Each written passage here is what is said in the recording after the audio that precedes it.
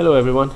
Uh, today I'm going to share with you uh, this cool um, Maya script which uh, can be very handy when it comes uh, to animation uh, especially when you basically wants to animate an object uh, to be parented to another object so that it can follow the movement and then you want that particular object to unparent it afterwards and maybe maybe uh, parent to another object or parent to its own world or to the same object again something like that. In this case for example like um, the ball here alright? So I want basically the ball is actually a separate uh, model and I want the ball and there's an animation that I've done here just for this example. So basically uh, what you see here is the ball is not following the hand right? As you can see here it's not following the hand but there's an action to it. So this guy throw the uh, ball and what I want is actually the ball to bounce and then at particular point like this it comes back to his hand and he you know he catch it so but but unfortunately uh, you know if you use uh, just a normal parent he will just follow you one way and and there's another option where you can use uh, parent constraint but I I mean you can use parent constraint but the problem with parent constraint um, there's a lot of you need to have additional more uh, setup in order to to make the parent constraint more uh, effective when it comes to this kind of animation. So this script will definitely simplify the whole process. Uh, as you can see now I want to play the animation and show you. So the main action is this. Throw the ball catch the ball and that's it. Just a simple animation for this exercise. Alright? Okay. So um, I'm going to introduce you to the script where you can find at creativecache.com creativecrash.com sorry. Uh, of course you know creative crash is where you can find a lot of cool plugins. I mean uh, cool plugins and uh, mostly scripts small scripts that is very handy uh, for you know to speed things up inside Maya. Uh, but you know some are free some are basically you have to pay. So in this case uh, the the script is called KKDP you know quite early version 0 0.1 0 0.001 0 0.01 all right um, DP stands for dynamic parent if I'm not mistaken. Um, and the thanks to the author Kareem Kashafi all right uh, it's free it's a freeware. So but the thing is that the thing is that this is a uh, the compatibility of uh, the version of Maya that you can use which is uh, 2011 2012 and 2013 but as you can see I am using 2015 and 2015 so far I've tested and it is fine. There's no I mean you can still use it with no problem. Um, alright. So where you can download it is you can download it over here right? And you can get the script. So once you get the script you will you know you will extract the zip file and you get this uh, this, this is the basically a text format which tells you uh, that how to install it. So I'm going to show you a bit on how uh, to install it. Alright so basically this is the script. All you need to do is copy right and then you go to the uh, document alright under document and then you will see your Maya uh, folder. And then you go to the scripts. And I already have it pasted here. So you just uh, paste it and put the script there. Alright? Okay. So now once you have that but make sure when you do that um, you know you have Maya closed will be more better. So now uh, I have Maya open. And to to invoke the script or to call the script you can go to the uh, script editor here. All you need to do is type kk underscore dp and hit the play button here. And there you go. This will you will call that script in that folder. And this is the simple menu that you get. Alright now so how do you use it? It is fairly simple. Uh, you, as you can see here there's a, a, parent and this is the child so if you know I assume that in this tutorial that you already know what the concept of parenting and, and child alright um, so the child will follow whatever the parent is going uh, moving alright so here. Um, first you need to add what is the parent. Uh, I have the controller actually hidden.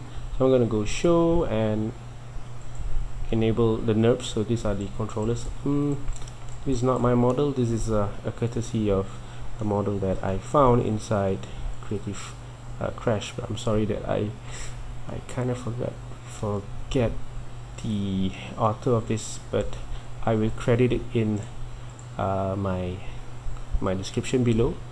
And thanks a lot for the character so that I can use it for animation tests like this.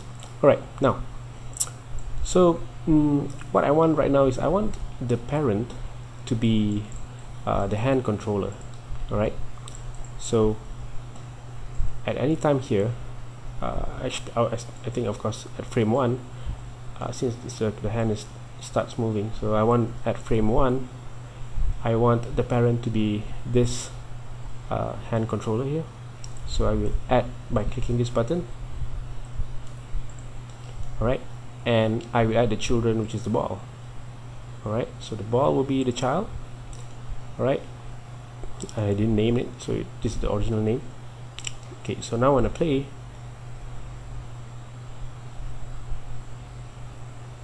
uh, I'm sorry. You have to click a parent button. Alright now it's parented.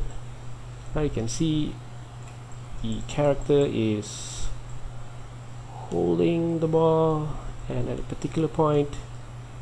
Right here just about here I practically want the ball uh, to be unparent so now at this particular point uh, maybe yeah this point I will click unparent so what it does is uh, it come it pops out this text window saying uh, you want to bake it?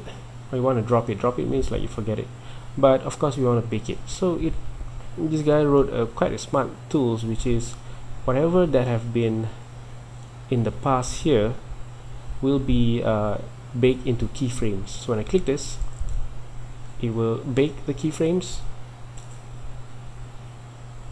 Alright so it's actually if I let's say let's say before this I I start moving the hand rotating.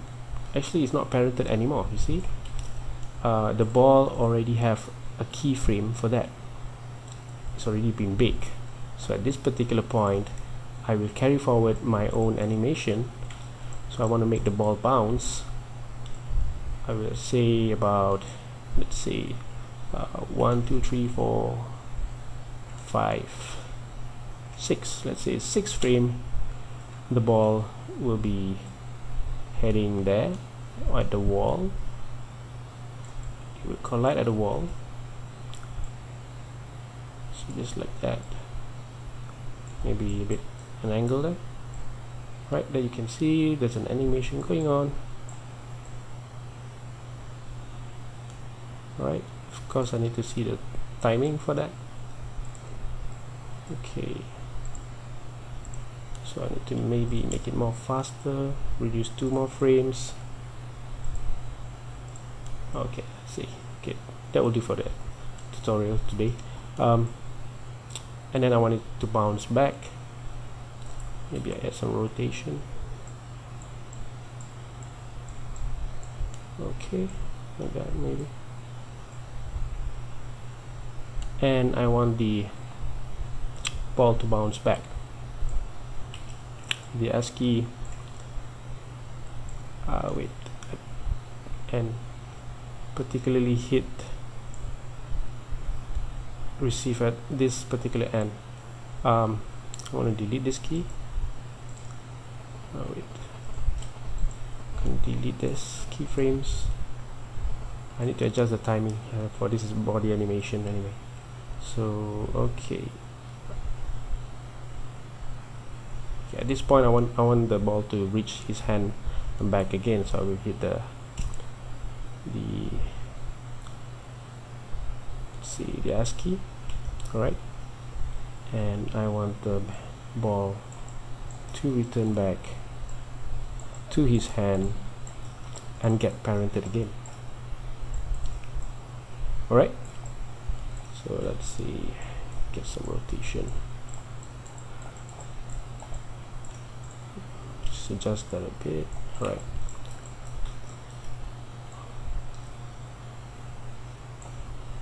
So maybe I will try to balance the keyframes. So you have like okay now good. That will do for the this tutorial here. Alright so once it reach here I want it to parent back. Uh, of course I already have it in the list. I will click the parent button. Alright. Now you can see he throws he catches he grab back the ball. As easy as that.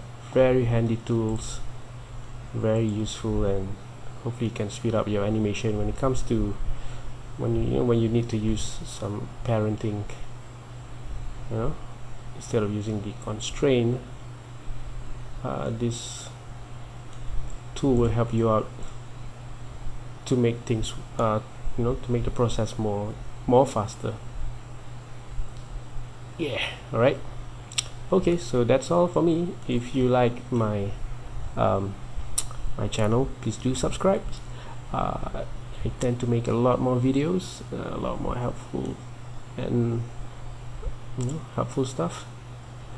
And can't wait to share a lot more with you guys. So yep subscribe and thanks for watching